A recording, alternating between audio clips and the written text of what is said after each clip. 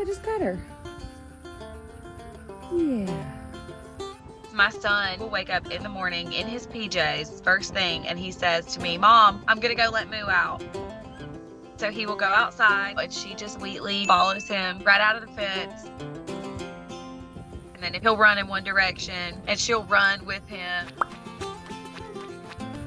You gotta say, hey, Moo. He can put his arm around her, and he's giving her kisses, and she'll kind of take her head and nuzzle up to him. They're cute little buddies. At first, we were very nervous. I have always wanted an emu. It's been one of my dream pets. Moo Moo.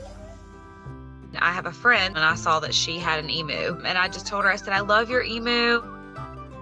So she actually told me that I could have her emu because they had hatched her, but they didn't have a, enough space for her.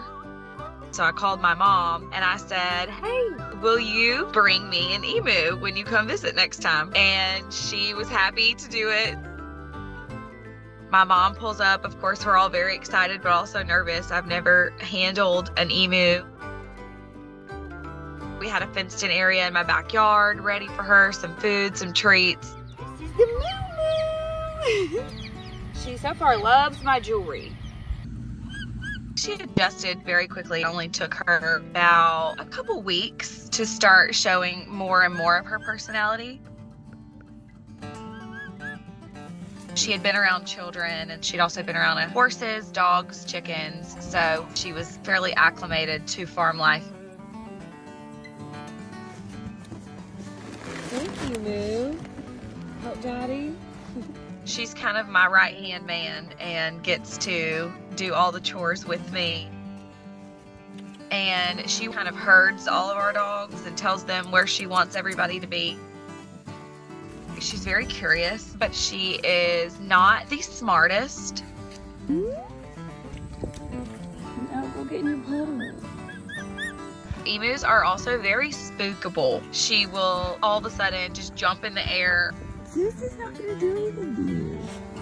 and then it's like turns back and it's like, oh, all's fine.